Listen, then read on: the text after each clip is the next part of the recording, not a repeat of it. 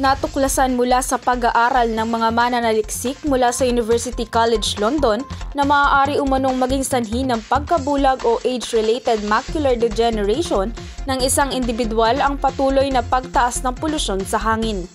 Dahil malakas ang pagdaloy ng dugo sa ating mga mata, kaya madali itong naaapektuhan ng mga maliliit na bagay na pumapasok sa katawan sa pamamagitan ng paghinga. Nangunguna sa halos 50 mayayamang bansa ang AMD sa pangunahing sanhi ng paglabo ng paningin o pagkabulag.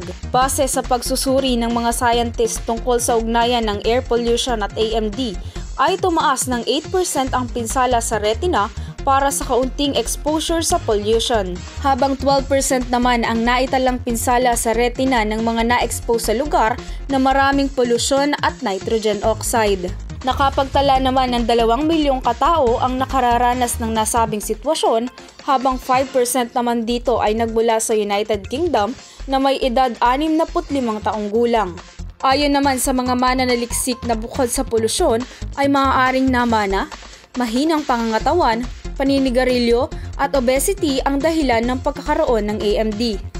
Batay sa report ng World Health Organization na marami nang naiulat na mga sakit na dulot ng patuloy na pagtaas ng polusyon sa hangin kung saan 70% umano ng populasyon sa mundo ay nakakalanghap ng maruming hangin.